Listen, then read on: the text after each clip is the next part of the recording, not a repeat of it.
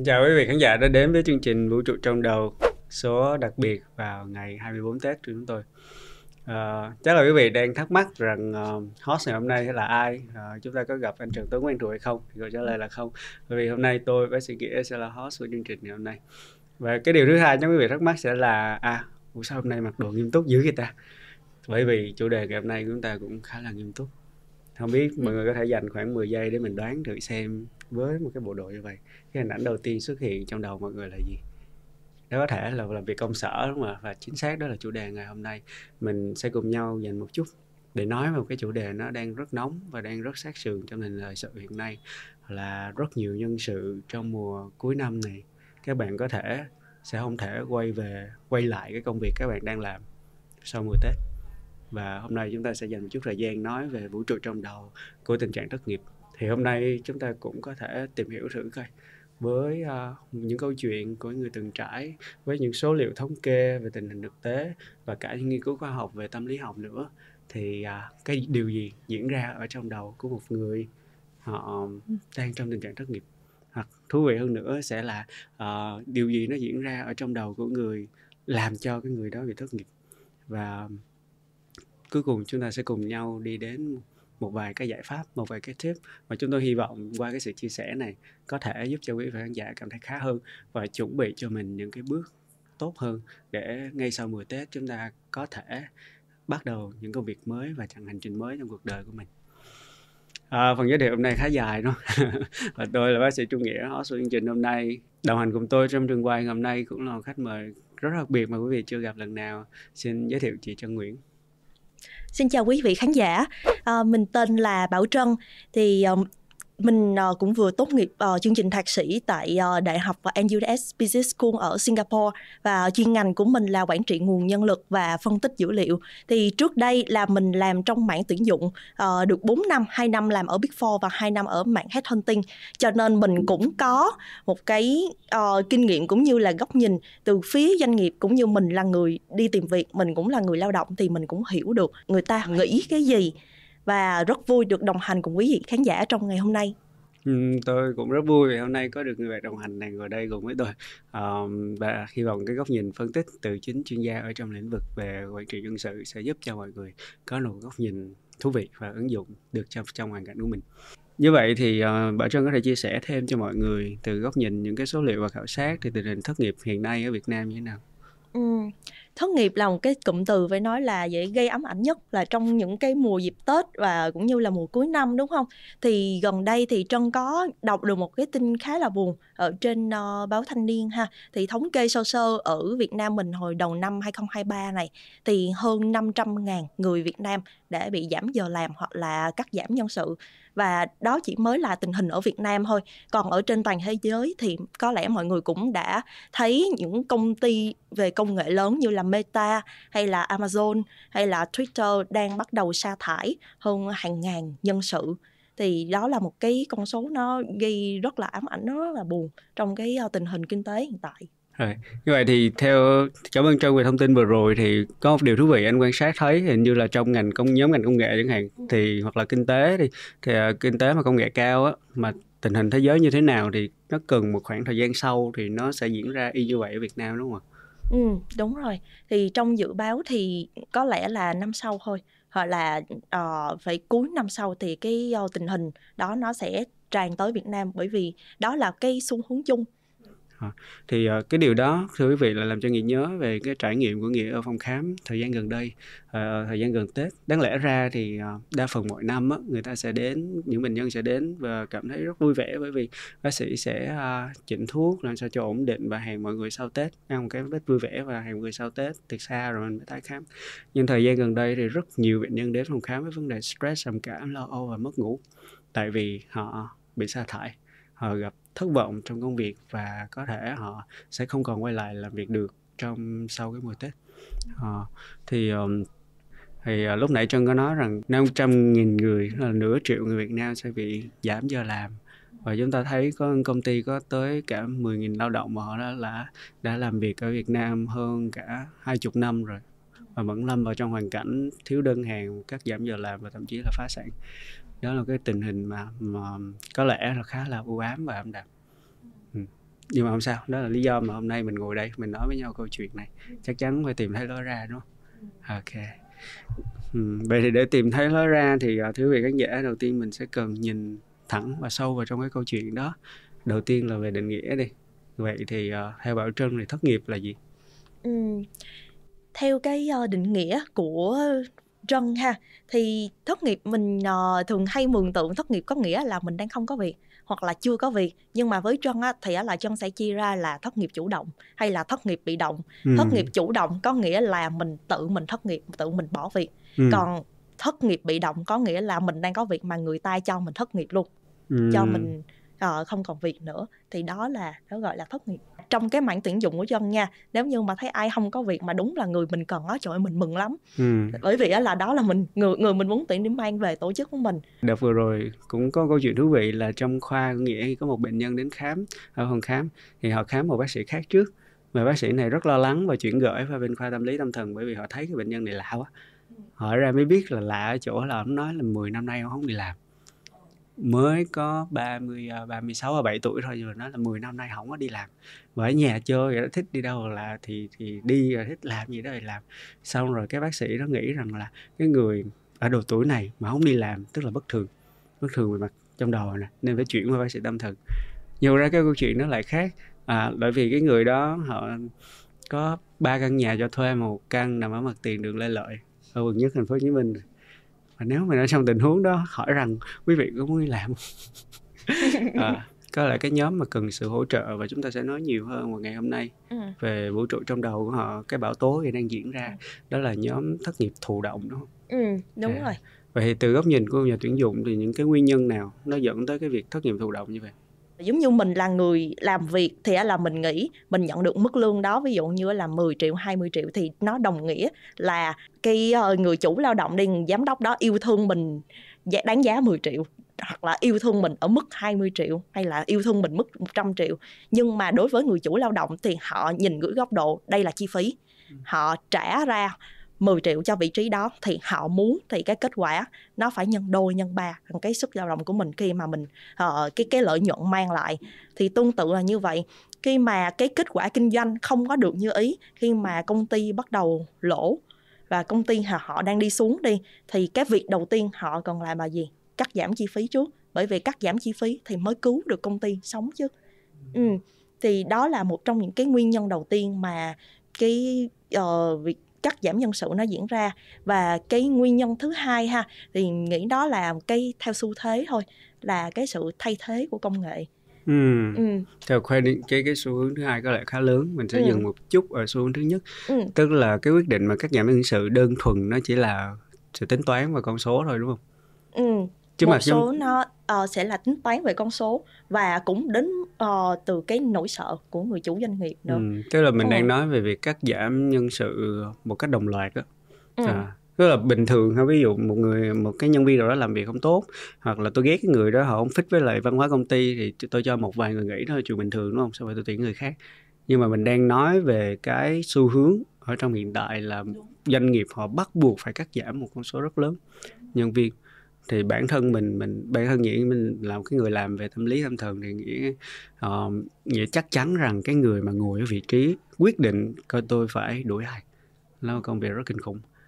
Vậy thì thưa quý vị khán giả chúng ta đang nói ở đây tức là cái mà trân vừa mới phân tích đó là lý do vì sao phải đối mặt với cái áp lực rất lớn về việc là phải cân nhắc coi ai nghĩ có sự chắc chắn sẽ có sự đau lòng trong đó có sự khó xử ở trong đó nhưng mà cuối cùng chủ doanh nghiệp hoặc là những người thực hiện nhiệm vụ của chủ doanh nghiệp như là HR chẳng hạn họ vẫn phải làm. Đó là vì tính toán và con số làm sao để giữ cho cái doanh nghiệp tồn tại. Đúng. Tức là một cái doanh nghiệp hoạt động thì tôi hình dung rằng là sẽ có rất là nhiều cost. Và tại sao họ lại chọn các cái cost của nhân sự? Trên thực tế nha cái chi phí của nhân sự là nó chiếm phần lớn nhất trong chi phí của doanh nghiệp. Really? chính xác tầm khoảng là 60% đến 70% chi phí của doanh nghiệp là đến từ con người. Ồ. Ừ. bao gồm cả cái việc trả lương chi thường xuyên cho họ đúng rồi trả lương tác, trả thưởng đào tạo trả thưởng đặc biệt là thưởng tết rồi rồi đúng rồi đôi à, khi họ một... xem đó là chi phí một số thì họ xem đó là cái khoản đầu tư nếu như khoản đầu tư đó không sinh lợi thì họ quyết định không đầu tư nữa à, như vậy là đúng sẽ rồi. có một số công ty họ họ không trả lương thưởng tết là để ừ. giữ sự tồn tại cho công ty. Chính xác. Vậy thì tôi có thể nói rằng là cái việc sếp không trả lương cho tôi là để giữ công ăn việc làm cho tôi. Điều đó đúng không? Ừ điều đó tùy thuộc cái điều đó nó thú vị nha. Nhưng mà trong tình hình hiện tại cái tình hình mà kinh tế nói chung đang khó khăn thì đó thường là cái lý do nó hợp lý và nó vừa hợp thời nhất.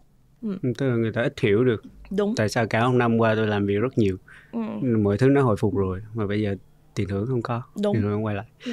ok tức là mình đang nói về câu chuyện là cắt giảm nhân sự là một cách để cắt cost đúng và tức là trong tình hình kinh tế khó khăn thì cái việc bán hàng là bán dịch vụ nó dạ nó nó khó khăn ừ. có nghĩa là thu nhập sẽ giảm doanh thu ừ. công ty giảm mà doanh thu giảm mà muốn giữ cho cái sự tăng trưởng vẫn tiếp tục hoặc là muốn giữ cho cái doanh nghiệp đó vẫn tồn tại ừ.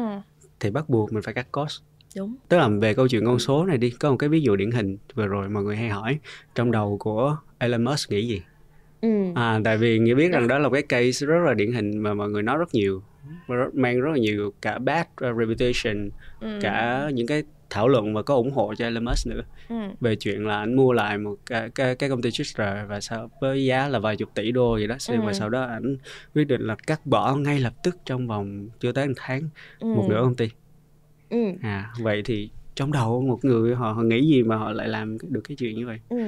Phải công nhận là Elon Musk là một case rất là thú vị bởi vì trong cái quá trình hồi năm ngoái khi mà Trân học thạc sĩ ở bên trường NUSD thì đó là một cái case mà mọi giáo sư đều đem ra để phân tích là một cái case nó điển hình luôn. Thì cái quyết định của Elon Musk tại sao lại diễn ra đến ờ, cái mức mà phải đi cắt giảm nhân sự từ phía từ CEO cho tới ờ, cả nhân viên luôn thì cái lý do mà phải nói là điển hình nhất luôn bởi vì Elon Musk muốn tăng giá cổ phiếu ừ. của Twitter lên. Đuổi người lại làm tăng giá cổ phiếu. Bởi vì khi mà cái tình hình của Twitter đang không có có thể đi lên được, cái tình hình đó là đang trì trệ đi thì các nhà đầu tư thì họ lại muốn làm sao á là cái phần lợi nhuận còn lại á thì đó là nó phải tốt nhất có thể thì họ mới có thể quyết định đầu tư tiếp đúng không? Thì cái quyết định tiếp theo của Elon Musk là gì? Cắt cost, cắt chi phí mà chi phí đến từ đâu? À, ngành nhân uh, trong cái uh, nhân sự là chính. Ừ, tại vì nó chiếm phần lớn. Đúng rồi, 60 nó chiếm, đến 70 trăm. Chiếm phần lớn thì theo uh, Trân hiểu nha, trong đầu của Elon Musk ngay lúc đó thì làm sao là để có thể tăng được cái giá cổ phiếu, muốn tăng được giá cổ phiếu thì cái phần lợi nhuận thì nó phải tốt thể hiện à. tốt chứ mà nghĩ biết rằng Elon Musk không phải là bỏ tiền của ông ra để mua không đúng mà ông kêu gọi những ngân hàng cho ông vay tiền ừ. kêu gọi nhà đầu tư khác nữa thì chắc chắn là nó sẽ phải có một cái contract tôi đảm bảo rằng khi tôi mua được cái chỗ này ừ. tôi sẽ làm cho nó phát triển lên ừ. mà tôi muốn phát triển bằng con số thì ừ. mà mà tôi không thể tăng doanh thu được tại vì thời điểm hiện tại quảng cáo trên mạng xã hội bị khó khăn quá ừ. thì tôi phải quay ngược trở lại là tôi phải giảm cái cái cái chi phí xuống đúng rồi mà nếu mình chỉ nhìn về con số không là chúng ta không tính gì đến humanity chúng ta không tính về về cái mặt cảm xúc và nhân đạo á, thì chúng ta ừ. sẽ rất dễ ra một cái quyết định giống vậy ừ. là cái chỗ này tốn nhiều tiền giờ tôi cắt tiền đây ừ đúng chính xác là thế nó dẫn tới cái hậu quả gì thì mình biết cái hậu quả đầu tiên mà Elon Musk nhận được đó là uh, cái giá cổ phiếu mà nó biến Đúng. mất luôn trên sàn chứng khoán. Ừ. Ừ. cái cổ phiếu của Elon Musk giờ hiện tại là đang biến mất luôn trên sàn chứng khoán. Ừ. và cái uh, hệ quả thứ hai ha thì người ta đồng loạt người ta nghỉ việc tiếp tục.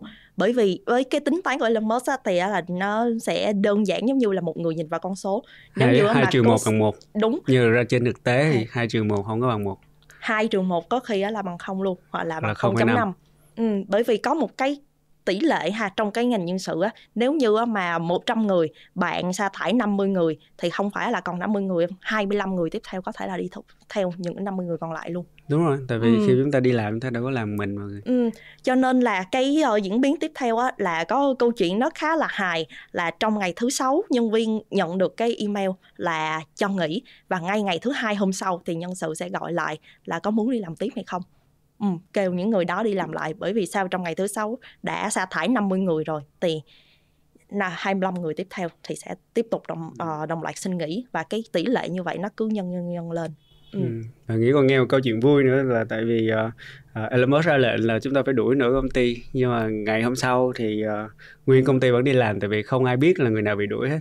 Ừ, tại vì cái bộ phận nhân sự bị đuổi trước rồi không còn ai ở lại để mà lựa có ai bị đuổi hay không à, như vậy chúng ta thấy được rằng khi mình nói về câu chuyện của thất nghiệp thì tôi tin chắc rằng bên trong đầu của uh, những người mà tạo ra cái thất nghiệp đó tức là ừ. những người chủ doanh nghiệp hay là những người phải làm công tác HR họ cũng rất đau đầu vũ trụ trong đầu nó cũng sẽ rất rối ừ. bão tố của cái người bị sa thải đã rất kinh khủng rồi nhưng mà ừ. trong đầu những người kia cũng rất nhiều thứ nhưng mà hiện tại thì cái quá trình uh, tự động hóa cái quá trình automation nó nó diễn ra một cách mạnh mẽ hơn thì bắt đầu người ta cảm thấy là máy móc có thể thay thế được một phần so với con người rồi như vậy thì mình có thể hiểu rằng cái việc mà cắt giảm nhân sự nó sẽ là một cái xu hướng và không thể tránh khỏi đúng không? với sự phát triển của AI của trí tuệ nhân tạo và tự động hóa thì cắt giảm nhân sự sẽ là xu hướng không thể tránh khỏi vậy thì không lẽ chúng ta phải chấp nhận cái tình trạng thất nghiệp đó? Theo cái mà Trân đã học được và có thể quan sát được ha thì cái điều quan trọng nhất á để không có để bị máy móc thay thế là mình phải cải thiện mình lên. Cải thiện mình ở về mặt uh, kiến thức về mặt uh, uh, giao tiếp xã hội. Về vì bởi vì những cái phần đó thì máy móc á có thể về mặt giao tiếp ví dụ như tương tác về con người thì thì cái đó là máy móc không thể nào thay thế được ở phía con người với lại những cái ngành nghề á, trong tương lai nếu như á, mà máy móc có thể lấy đi một phần công việc của mình thì đồng thời nó cũng sẽ tạo ra ừ. một phần một những, những công, công việc, việc khác mới. nhưng mà những công việc khác thì con người có thể làm được những công việc đó hay không thì quan trọng là mình phải học mình phải nắm xu thế và tự rèn luyện bản thân mình lên ừ. ừ. Ok, cũng là một cân nhắc thú vị nên quý vị khán giả có thể chăm chỉ đọc thêm những tin tức về sự phát triển của công nghệ ừ. cũng như là những cái dự báo về thị trường lao động ừ. trong thời gian tới đúng không ừ, ạ ok chúng ta đã nói về à, những vấn đề vĩ mô rồi chúng ta đã phân tích những vấn đề chung chung. Ừ. chắc là cái phần sau chương trình thì uh, nghĩ sẽ xin phép dẫn câu chuyện vào sâu hơn một chút. Uh, quý vị khán giả dành khoảng cỡ 5 giây đi mình suy nghĩ thử. Uh, tất cả chúng ta mỗi người chúng ta này chúng ta đã từng trải qua thất nghiệp một lần nào trong đời chưa? Một hai ba bốn năm. Cảm ơn quý vị khán giả và tôi sẽ dành câu hỏi đó cho khách mời chúng ta ngày hôm nay ở wow. trân thì sao? Có bao giờ em thất nghiệp chưa? Uhm, hồi nãy là mình phân tích đó là có thất nghiệp chủ động có thất nghiệp bị động ha. Nếu như mà thất nghiệp chủ động á thì á là mình có hai lần như vậy. Một lần á là sau khi á mà tốt nghiệp đại học được mình đi làm được 2 năm rồi thì mình chuyển nghề. Ngay lúc đó là mình muốn bước ra một cái nghề nó không có liên quan đến cái nghề cũ thì đó là cái quyết định đầu tiên. Còn cái quyết định thứ hai thì gần đây nhất là mình quyết định dừng một năm để mình đi học thạc sĩ à, à tức là cái nghề đó. mới nghề mới của em là tuyển dụng đúng không? Là đúng nhân rồi. Ủa còn nghề cũ là làm gì? Trước đây á thì uh, em làm ở trong mảng uh, logistics. Ừ, thì uh, cái mảng đó nó sẽ liên quan tới cái ngành học cũ của em hơn. Trước đây thì em học kinh tế đối ngoại của trường đại học ngoại thương. Uh-huh. ừ. thì khi mà ra em làm thì em sẽ làm trong ngành uh, transportation uh, ngành logistics và sau đó sau 2 năm mình làm ở trong cái mảng đó rồi thì mình thấy nó không có thực sự phù hợp với mình mình muốn bước ra ngoài khỏi cái vùng an toàn mình đi theo cái gọi là tiếng gọi con tim của mình á ừ, à, thì lúc đó, đó là một cái lựa chọn chủ động tôi break khỏi cái thị trường lao động thời gian bởi vì tôi thấy cái cái hướng tôi đang đi á, có thể không ừ. phù hợp với thứ tôi muốn cái thứ tôi giỏi thứ tôi mạnh ừ. tôi muốn trải nghiệm cái điều mới ừ. à nên tôi sẽ dành thời gian để tôi tìm kiếm cái công việc ừ. mình nhóm mới còn cái trải nghiệm mà thất nghiệp chủ động là thứ hai của em tức là mình ừ. quyết định đi học thạc sĩ ừ. à thì đó là tại vì mình đã ở trong ngành rồi và mình biết rằng mình đang thiếu chỗ nào và mình ừ. muốn phát triển thêm cái điểm Đúng cụ rồi. thể đó khóa học đó nó cho mình cái điều đó ừ. nên ra là mình quyết định dừng lại để đi học ừ. để phát triển bản thân đúng vậy thì cái cảm giác của mình trong lúc mà mình thất nghiệp chủ động như thế nào ừ. nói về cái lần thất nghiệp chủ động lần thứ nhất ha thì sau khi mà mình bước ra khỏi cái công việc mà nó không có thực sự phù hợp với mình á ôi cảm giác đó nó rất là khỏe. Ừ, đầu tiên nó lúc đó là nhẹ nó nhẹ nhõm nó sung sướng giống như là mình trút bỏ một cây cái gánh nặng mình trút bỏ được một cây cái áo một cái uh, vai mà mình uh, không có hợp để diễn vậy đó. Rồi uh, đó là cái thời gian đầu tiên mình bắt đầu là đi uh, tìm kiếm uh, những cái um, uh, những, những cái ngành nghề mới mình quan tâm mình bắt đầu đọc rất với rất là nhiều sự hào hứng ha. Rồi sau đó sau một hai tháng thì mình bắt đầu nghĩ là ờ mình giờ mình phải quyết tâm đi tìm cái công việc rồi. Thì lúc đó là mình bắt đầu rơi vào cái tình trạng đó hơi hoảng loạn. Ừ, bởi vì sao? Thì cái uh, ngay lúc đó mình bước ra khỏi cái công việc cũ đi mà đi tìm một cái công việc mới thì nó là một cái sự thách thức với mình bởi vì mình cũng đã hai năm xóa bỏ năm cái thời gian kinh nghiệm đó. Đúng rồi hai năm xóa bỏ cái thời gian kinh nghiệm đó mình bắt đầu tìm việc lại từ đầu ừ, có thể là cái mức lương nó cũng Mức không mong muốn. cơ bản Và ngay từ đầu của người chưa mới. kể những cái công việc sau ờ, những công công việc mới á, thì họ cũng ưu tiên những ứng viên nào mà có kinh nghiệm nhiều hơn. Cho tới giờ nếu như mà đọc những cái thông tin tuyển dụng đi thì đa phần thì mọi người sẽ luôn thấy hai chữ kinh nghiệm ở trên đó. Thì người ta sẽ ưu tiên những bạn mà có kinh nghiệm trước Ừ. thì đó là cái thời của mình trước đây cho nên cái thời điểm đó là mình cảm thấy nó cũng hoảng loạn mình đang giữa chừng đó là không biết là mình nên quay trở Quay lại, công lại. việc cũ hay không mình đã có kinh nghiệm rồi hay là mình tiếp tục bước theo công ờ, qua một cái mảng mới ừ. Ừ. Đó cũng là cái điểm tâm lý thường gặp khi mà chúng ta đang đứng giữa ngã ba đường cái Đúng điểm rồi. chuyển tiếp bắt buộc cái cái cái ờ, hướng chuyển tiếp cảm xúc bắt buộc sẽ có khi mà chúng ta khi mà chúng ta đang ở chỗ giao thoa giữa cái cũ và cái mới Ừ. à, mình sẽ không biết rằng là bây giờ đi tiếp thì nó có đúng hay không nó thực sự đúng như mình nghĩ hay không nhưng mà nếu bây giờ quay trở lại thì khó khăn cái lần bày Ừ. nhưng mà mình lại tiếp tục lại nặng nề về mặt tâm lý Ừ. Ừ. Nhưng mà may là thời điểm đó ờ, anh hình dung là có thể là Trân chưa gặp những cái áp lực về mặt tài chính quá lớn Ừ. Ờ, vậy hoặc là mình phải nuôi con hoặc là mình phải chịu trách nhiệm cho bố mẹ già phải cung cấp tiền cho ai đó ừ. nên thành ra là cái hoảng loạn nó có thể sẽ nhẹ hơn một Ừ. chút so với hoặc là nhẹ hơn rất nhiều so với nhiều quý vị khán giả ở đây những tình cảnh mà anh đã từng quan sát ở những bệnh nhân của mình Ừ. đôi khi họ biết rằng làm cái về cái việc đó ví dụ như là tiếp tục ngồi văn phòng 8 tiếng đồng hồ ngày đi làm cái việc mà họ không muốn làm suốt cả cuộc đời của họ. Ừ. nhưng mà nó lại cho họ thu nhập ừm, ổn định để có thể gửi về quê và chăm sóc ngay gia đình.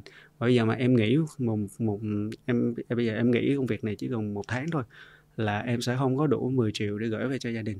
Và và nếu mà không có 10 triệu thì con em nó không có đi học. Mẹ em sẽ nhịn ăn cả một ngày luôn bởi vì bà nghĩ rằng phải để dành tiền cho cháu ăn hoặc là bố em thì bị bị ung thư nhưng mà ông lại không chịu lên thành phố để khám bởi vì nghĩ là không còn tiền để khám nữa. Thì họ ở trong hoàn cảnh là không thể không thể break ra được. À, nên đôi khi cái việc mà được thất nghiệp nó cũng là cái điều mà nhiều người mơ ước đúng không? Ok.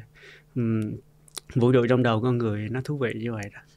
Và vậy thì ờ, đó là cái thời điểm mà mà mình ờ, mình thất nghiệp chủ động mình Ừ. cũng cảm thấy vừa nhẹ nhõm nhưng mà sau một thời gian sẽ là cái sự hoảng loạn và cân nhắc còn bây giờ mình nói thêm một chút về cái trải nghiệm thất nghiệp thụ động đi Ừ. có giờ em trải qua cái tình huống đó chưa Ừ, thú vị ha bởi vì đó là cái trải nghiệm mà cũng vừa xảy ra với em gần đây luôn ừ.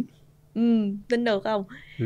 thì ờ, cái tình huống đó là như thế này Ờ, thì sau khi mà học thạc sĩ xong đi thì á là mình cũng đã có một cái offer cũng rất là tốt làm ở một cái ờ, công ty ờ, một cái ngân hàng tài chính khá là lớn. Học thạc sĩ không xong cũng thất nghiệp nữa ừ, đi học xong cũng thất nghiệp luôn. Đó tính được không? Ok. thú vị. Thì um, lúc đó là mình cũng có cái offer nhưng mà ờ, trời xui đất khiến như thế nào thì họ đã rút offer lại. Họ không có ờ, ký hợp đồng tiếp tục với em nữa. À, thì ngay cái tình huống ngay lúc đó mình đã ký hợp đồng rồi nhưng mà họ đã break cái cái cái luật ừ. Ừ, thì ờ, về một cái lý do nó không có liên quan gì ờ, đến hợp đồng luôn thì cái ờ, thời điểm đó là cái thời điểm mà phải nói em hoảng loạn nhất luôn Ừ. Ừ. bởi vì ờ, cái lúc đó cái cảm giác nó diễn ra như thế nào nè đây ở đây mình có bác sĩ tâm thần luôn thì không biết là với bác sĩ nghĩa thì ờ, bác sĩ nghĩa đoán một cái người ờm, rơi vào cái tình huống như em á thì sẽ cảm thấy như thế nào Ừ. Thường ờ, mình sẽ có một cái khái niệm quen thuộc là five state of loss tức là khi mà đối Ừ. mặt với một cái sự mất mát như là mất việc như là lúc này chẳng hạn ừ. thì có thể người ta sẽ rơi vào những cái cảm xúc thường gặp mà Ừ. người ta thường gọi nó là năm giai đoạn của sự mất mát Ừ. đầu tiên nó là cảm giác phủ nhận đó nè Ừ.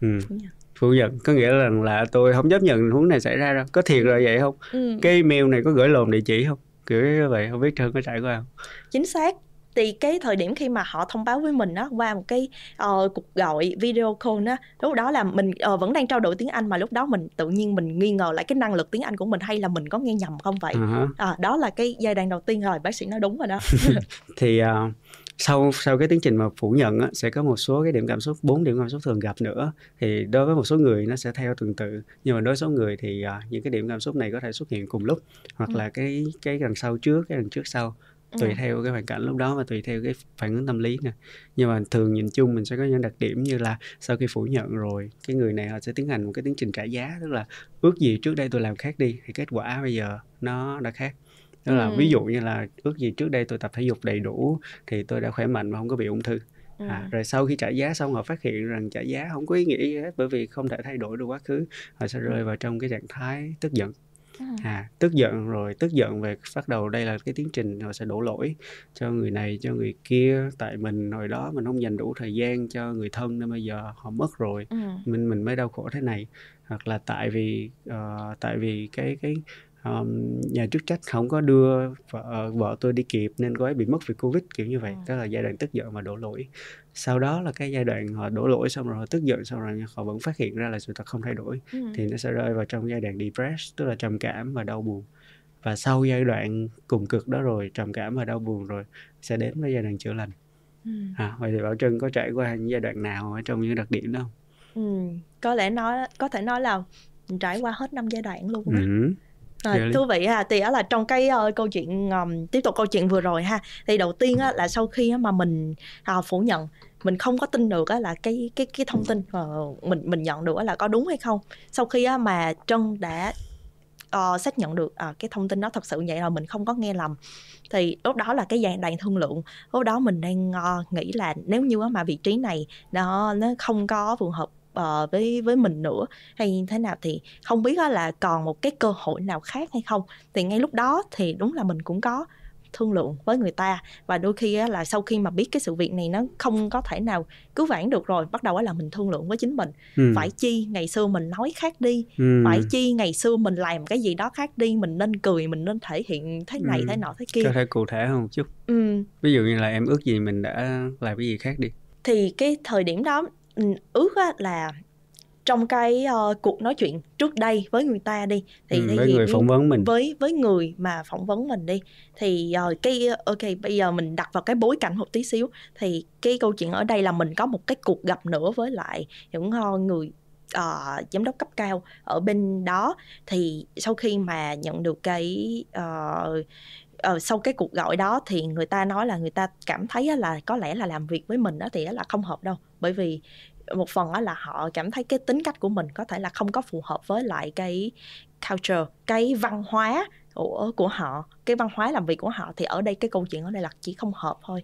Nhưng mà mình đang suy nghĩ là ước chi lúc đó là mình nên nói uh, một cách như là nó nó phù hợp theo cái văn hóa của họ hơn. Lúc đó thì á là mình ước là mình nói theo ý của họ. Ví dụ như là họ muốn là làm cái gì á là cũng phải là team trên hết đi thì á là với công việc của mình thì á là khi mà mình nhận được task rồi thì á là mình sẽ share hết cho cho team của mình sẽ mình sẽ share hết cho uh, với sếp của mình. Nhưng mà ở cái vai trò lúc đó theo cái cách nhìn của mình đó thì cái cách làm việc như vậy là nó thực sự chưa hiệu quả đâu. Cho nên đó là mình cảm thấy mình nên làm độc lập trước. Rồi sau đó là bởi vì khác múi giờ sếp của mình đó là ngồi ở Anh mà cho nên đó là mình nên làm trước những gì có thể rồi sau đó là đợi 8 tiếng sau sếp mình dậy đi làm rồi mình mới nói sau. Thì cái cách nhìn của họ như vậy á thì à, như vậy là không phù hợp. Đáng lẽ ra là mình làm mọi cách để mình nói chuyện với lại sếp mình trước cho dù là sếp mình có đang ngủ hay không nhưng mà cứ gửi thông tin qua trước đã. À, thì lúc đó mình uh, xuyên lúc đó sau này á là khi mà mình cái sự việc nó diễn ra rồi á mình sẽ nghĩ ồ phải chi á là lúc đó là mình nên trả lời cái câu hỏi khác đi theo ý của họ. Thì cái offer đó vẫn còn giữ Ừ. cái job đó nó vẫn còn giữ đúng không? Đó là thương lượng. Ừ, đó là cái thương lượng với lại cái bản thân mình. Rồi khi đó là mình thấy khi mà thương lượng không được nữa rồi thì mình trải qua cái cảm giác nó tức giận. Mình mới nghĩ ủa sao một cái sự việc nó thiếu chuyên nghiệp như vậy nó diễn ra với mình với ờ, đặc biệt ở đây là một cái công ty rất là lớn nha. Và cái thời điểm đó nó cũng cho bản thân mình cũng mang một cái sự tủi nhục nữa. Bởi vì Ừ. khi mà mình nhận được cái offer đó thì giáo sư mình cũng biết bạn bè trong lớp mình cũng biết và mọi người là đều wow ồ Trân đã nhận được ờ, cái cái offer như vậy và mọi người là rất là tự hào nói Ê, sau này á là nhận được job là nhớ post lên LinkedIn đi thì tụi tao vô chúc mừng. Tự nhiên cái sự việc nó xảy ra như vậy thì mình không biết là mình phải nói sao luôn và mình cũng không biết là phải giải thích như thế nào ừ. thì cái thời điểm đó là mình rất là tức giận mình không biết là tại sao cái sự việc nó lại xảy ra với mình Ừ. Ừ, thì khi mà biết là tức giận à, thì không làm gì được lúc đó là mình cảm thấy là nó buồn vô cùng luôn thì mình bắt đầu là nghi ngờ lại năng lực của mình mình Ừ. nghi ngờ lại bản thân mình hay là mình Depressed. chưa đủ tốt à, hay là mình không xứng đáng Ừ. giai đoạn depressed bắt đầu đúng rồi giai đoạn depressed đó bắt đầu có rất nhiều ừ. đúng rồi Ừm. phải nói là lúc đó là mình ở một mình ở xứ người nữa có một mình mình người Việt Nam trong cái khóa học ngay lúc đó và cái sự Ừm. việc nó diễn ra trong cái căn phòng mình ngồi một mình và mình khóc rất nhiều luôn mặc dù là mình cũng đi làm mình cũng biết là ở những cái sự việc này nó có thể diễn ra rồi nhưng mà trước đây mình là người ngoài nhưng bây giờ mình đứng trong cái cái vai trò đó ừ, bắt đầu những cảm xúc nó ập đến vào mình vẫn cảm thấy ồ nó mình vẫn hoảng sợ Ừ. Hoảng sợ, buồn, tủi nhục, ừ. đau khổ, thất vọng ừ. và hàng loạt những cái cảm xúc nặng nề khác. Ừ. Vậy thì Trân đến với giai đoạn cuối cùng như thế nào? Giai đoạn của sự chữa lành, tức là mình cảm thấy khá hơn. Ừ. Nếu như quay lại cái thời điểm đó có lẽ là cái quyết định đúng đắn nhất á, của em á là tìm kiếm sự giúp đỡ Ừ. Ờ, bởi vì trong cái giai đoạn đó nói thật á là với cái tính cách của em thì á là cũng không có dễ dàng để mở miệng ra để tìm kiếm sự giúp đỡ của mọi người đặc biệt là trong cái giai đoạn gọi là depressed nữa mình cảm thấy tủi nhục mình cảm thấy là mình chưa đủ tốt đi à, thì là sợ mọi người biết rồi mọi Ừ. người đánh giá Ừ. đánh giá mình bạn bè đánh giá như thế mình giáo sư mình đánh giá với mình như thế nào nữa ừ, thì cái thời điểm đó có lẽ là cái uh, quan trọng nhất là tìm kiếm sự giúp đỡ thứ nhất đó là từ gia đình từ chồng của mình từ uh, phía bạn bè trong cùng lớp những bạn ở mặt thân nhất với mình và những cái người giáo sư thân nhất với mình.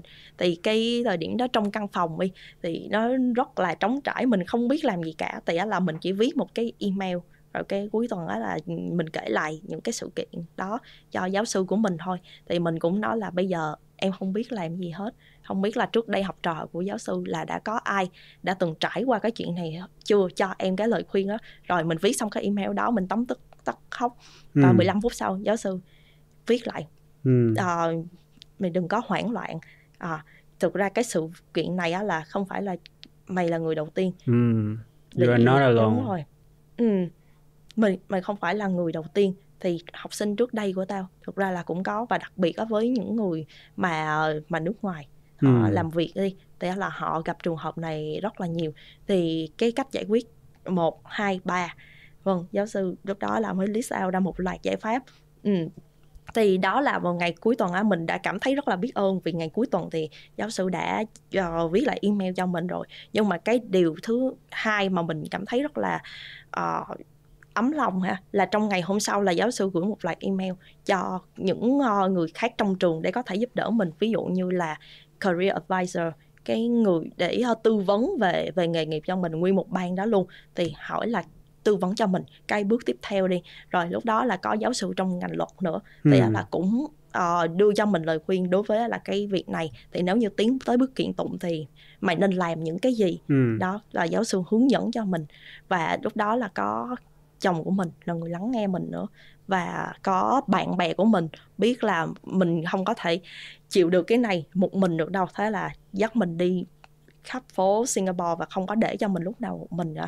và mình nghĩ đó là cái lý do mà mình có thể vượt qua được cái thời điểm đó nhanh nhất còn nếu như mà mình trải qua điều đó một mình thì mình nghĩ lại có thể là khó lắm anh thấy được rằng trong câu chuyện của chân á khi mà Ừ. mình quyết định tới cái keyword đó là mình tìm kiếm sự giúp đỡ Ừ. đi thì um, hàng loạt những cái sự giúp đỡ nó tới Đó, được mình mình nhận được một cái thông điệp rất là quan trọng mà mà anh nghĩ rằng ờ, bên trong góc nhìn của tâm lý nó là một cái thông điệp quan trọng nhất trong bất cứ Ừ. cái tình huống đau khổ nào đó chính là ờ, you are not alone. Ừ, bạn không có một mình đâu có nhiều người đã trải qua tình huống này rồi. Ừ, và rõ ràng khi mình nghe được cái chia sẻ đó mình biết rằng à tôi không phải là cái người cô đơn duy nhất hoặc là trường hợp xui nhất tệ nhất.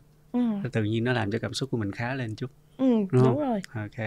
Và cái cái ý nghĩa thứ hai của việc tìm kiếm sự giúp đỡ thì lúc này rõ ràng khi mình tìm kiếm à, lúc này rõ ràng cái mình sẽ nhận được sự giúp đỡ từ nhiều người khác nhau ừ, và mỗi người lại có một cái ý nghĩa riêng nữa. Đúng rồi. À, ví dụ như là giáo sư thân thuộc của mình sẽ có sự an ủi à, rồi tìm kết nối cho mình cái mạng lưới. Ừ. giáo sư về luật sẽ tư vấn về trường hợp này nên làm gì. Ừ, gia đình của mình bạn bè của mình lại giúp cho mình ổn định hơn về mặt cảm xúc. Ừ, ha như vậy được cái keyword rất là đơn giản là năm từ thôi tìm kiếm sự giúp đỡ. À nó có thể là một cái giải pháp ừ, để đem lại một cái những cái hy vọng tươi sáng hơn Ừ. trong những cái câu chuyện đen tối của những cái ngày bị thất nghiệp. Dù Ừ. đó là thất nghiệp thụ động hay là bất nghiệp chủ động này ừ. ok câu chuyện khá là thú vị. Cảm ơn bảo trân. Uh, anh tin rằng là quý vị khán giả khi nghe câu chuyện của bảo trân có thể tìm thấy được bản thân mình trong đó tại vì cái việc mà mình đã nhận cái offer mình đồng ý offer mình nhận hợp đồng mình ký contract xong rồi mà sau đó bị đuổi hoặc là mình đã từng tính về cái tương lai dự định công việc thế nào rất nhiều kỳ vọng sau đó mình mình bị bị cancel cái offer đó nó cũng sẽ tương tự với việc là các bạn đang làm ở công ty bạn rất thích nó nhưng mà ừ. tại thời điểm một cái sự kiện bất ngờ xảy ra và bạn bị mất cái công việc đó thì nghĩ nghĩ rằng câu chuyện này có những điểm chung và những cái cảm xúc mình trải qua cũng có thể là đâu đó trong năm cái đặc điểm tâm lý chung chúng ta vừa phân tích và tới tóm gọn lại cuối cùng là khi mà chúng ta ở trong cái giai đoạn khó khăn đó thì đừng ở trong đó một mình. Mình luôn ừ. có sự hỗ trợ xung quanh. À, anh muốn hỏi thêm một điểm thôi. Giống như trân nói thì ừ. cái tính cách của trân trước giờ độc lập uh, có thể chút có một chút tự cao nên là sẽ khó khăn trong cái việc là thừa nhận rằng tôi thất bại và tìm kiếm sự giúp đỡ. Vậy thì cái cái tại thời điểm đó, đó anh muốn biết là cái gì là cái turning point cái gì nó sẽ làm cho em quyết định là tôi nên tìm kiếm sự giúp đỡ? Ừ có thể cái turning point ở đây là cái sự chấp nhận uh-huh. là bởi vì cái uh, mình có nghe được mình có học được ở thiền sư thích nhất hạnh ha uh-huh. thì cái sự chấp nhận đó là một cái bước quan trọng để chữa lành thì khi mà mình nhận nhìn nhận cái sự việc nó đúng theo cái bản chất của nó à, bây giờ người ta đã cancel offer rồi thì người ta đã quyết định như vậy rồi à, thì không có cứu vãn được nữa à, thì cái sự việc nó cứ như vậy đi à, mình chấp nhận cái sự kiện nó đến với mình và mình chấp nhận là mình đang tổn thương ừ. mình chấp nhận là mình đang tức giận và lúc đó là mình thật sự là yếu đuối ừ. lúc đó là mình không có thể nào là tự cao được nữa thì đầu tiên đó là phải cái sự chấp nhận trước đã khi mà mình chấp nhận là mình đang ở cái giai đoạn mà mình thực sự cần sự giúp đỡ thì lúc đó là mình mới tiến hành đến bước và tìm kiếm sự giúp đỡ Ừ, đầu tiên là chấp nhận cái sự thật đang xảy ra thế giới bên ừ. ngoài và sau đó là chấp nhận rằng những cái gì nó đang xảy ra bên trong ừ. mình đúng vậy à, bao gồm là mình chấp nhận rằng cái hoàn cảnh nó đang xảy ra dù mình có chống đối nữa cũng sẽ không thay đổi được ừ, đúng vậy mình chấp nhận rằng là tôi đang bị thực sự tổn thương và cái điều tôi muốn là chữa lành cái sự tổn thương đó ừ. chứ không phải là lắp lắp lắp nó đi và để nó luôn luôn ở đó ừ. Đúng rồi. Okay. Cảm ơn bạn Sơn vì cái sự chia sẻ đó um, anh tin rằng quý vị khán giả cũng sẽ tìm được một cái tip nho nhỏ hoặc là một cái hướng ra nếu mọi người đang ở trong cái tình huống ừ. tương tự và cảm thấy khó khăn để tìm sự giúp đỡ ừ. Uh-huh. Uh, buổi chia sẻ hôm nay tới đây có vẻ cũng khá là dài có nghĩa là có thể là một trong những cái cái talk dài nhất talk dài nhất mà trước giờ buổi trục trong đời từng tiến hành uh, tại vì uh, tại vì khách mời hôm nay chúng ta khá là đặc biệt rồi đúng không? Lần đầu xuất hiện nên cho bạn nhiều thời gian để on air. À, và tôi cũng cảm thấy có hứng thú khi nói chuyện với bạn nữa. Không biết vì lý do gì. Rồi. Ừ. thì uh, nhưng mà chúng ta nên chắc là sẽ kết thúc ở đây. Ừ. uh, um, và như vậy thì mình sẽ dành một ít phút để mình wrap up lại cái nội dung mình vừa nói trong đoạn vừa rồi. Đó chính là trong buổi hôm nay chúng ta nói chuyện với nhau về cái vũ trụ trong đầu diễn ra trong cái tình huống của tình trạng sa thải hàng loạt và thất ừ. nghiệp chúng ta nói về những cái cảm xúc những cái suy nghĩ của cái người ra quyết định phải sa thải bên trong họ cũng có những nỗi ừ. đau khổ sự khó khăn và họ phải ưu tiên con số và ưu tiên cho sự tồn tại của của cái doanh nghiệp là cái lẽ sống của họ à, chúng ta nói về những gì diễn ra ở bên trong tâm hồn trong vũ trụ của những người bị thất nghiệp bị mất việc bao gồm cả thất nghiệp chủ động và thất nghiệp thụ động bên đó đều có những cái có thể đó là cảm xúc nhẹ nhõm ban đầu, nhưng mà đồng thời nó cũng sẽ là hàng loạt những cái hoảng loạn, hàng loạt những cái bối rối, không biết phải chọn đường đi, và cả những cái giai đoạn của sự đau khổ và mất mát nữa. Thì hy vọng rằng trong cái chia sẻ ngày hôm nay, cuối cùng chúng ta chốt lại rằng với nhau năm cái keyword thôi. Khi mình đang ở trong trạng thái mất mát, đau khổ và tuyệt vọng, thì mình không cần phải chịu đựng điều đó một mình mà hãy tìm kiếm sự giúp đỡ ha và hy vọng mọi người sẽ giữ cái keyword đó trong suốt ngày năm nay. Chúng ta cùng giúp đỡ nhau và nói rộng cái vòng tay uh, hỗ trợ nói rộng cái vòng tay tử tế này để mỗi ngày mình đều có thể thấy những cái niềm vui ở trong cuộc sống của mình. Uh-huh. quý vị ở thân mến thì tới đây tôi xin phép chốt lại chương trình vũ trụ trong đầu số phát ngày 24 Tết của chúng ta. À, cảm ơn quý vị rất nhiều vì đã theo dõi chúng tôi cho tới thời điểm này. Cảm ơn sự yêu thương quý vị đã dành cho ekip thực hiện chương trình. Và chúc quý vị một buổi Tết thật vui vẻ, ấm áp và nhiều niềm vui trong giai đoạn sắp tới Chương trình Vũ trụ trong đầu của chúng tôi được phát trên Mi Podcast và tất cả những nền tảng khác của Metaverse Entertainment. Kính mời quý vị cùng tham dự và ủng hộ chúng tôi trong ngày sắp tới. Xin chân thành cảm ơn và hẹn gặp lại.